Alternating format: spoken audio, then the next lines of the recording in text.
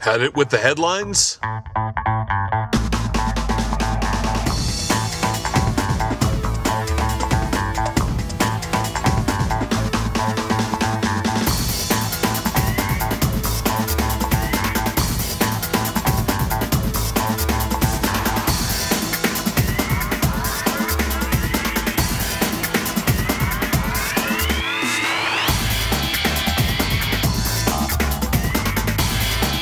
Things just seem so bad right now. I don't think it's ever been worse.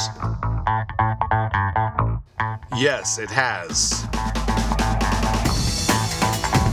Watch the news. I don't think there's ever been a time when we were this far from God. Actually, there have been several times. Is there any way to turn this around? Yes, where there's Jesus, there's hope. What we need is revival. Pray, listen, act faithfully.